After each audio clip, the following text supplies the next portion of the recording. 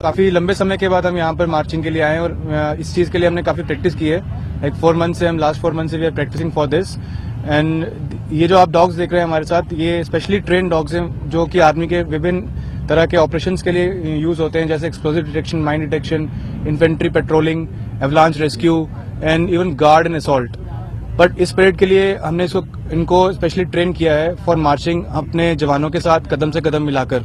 ये ट्रेनिंग तो नॉर्मली हम लोग मार्चिंग का सिखाते हैं इसको।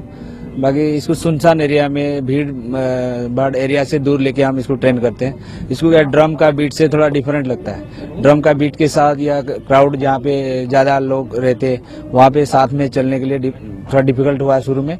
बाकी इसके लिए प्रैक्टिस प्रैक्टिस प्रैक्टिस करते करते ये अभी हमारा